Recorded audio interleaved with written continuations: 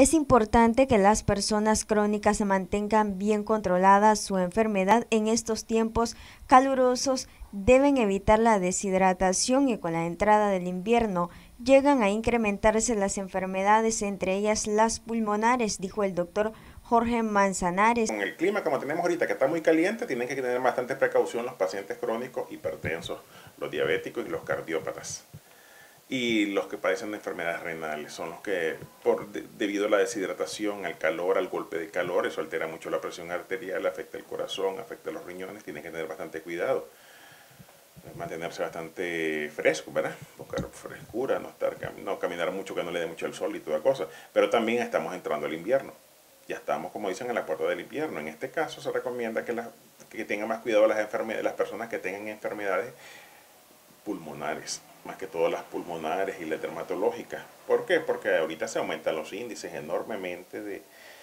faringitis, amigdalitis, faringomigdalitis, neumonía, bronquiolitis, hay mayores, crisis, hay mayores ataques de asma, crisis asmática, las enfermedades dermatológicas, lógicamente, Y no hay que olvidar las enfermedades por vectores, debido a que con la lluvia vienen eh, los nidos para los zancudos y todo. Entonces, por eso es importante que mantengan sus recomendaciones, que mantengan sus medidas de seguridad, sus limpiezas es importante, los cuidos, sobre todo que tengan prioridad con los, con los más niños, con los más ancianos y los pacientes que ya tengan enfermedades crónicas. Manzanares también destacó la importancia de participar en las jornadas de vacunación para tener una inmunidad fuerte ante las enfermedades. Importantísimo, ¿verdad? Para que así las personas tengan una inmunidad más fuerte y así eh, prevenir las enfermedades. No estar tratándolas hasta que atender la enfermedad, sino evitar que te esté dando.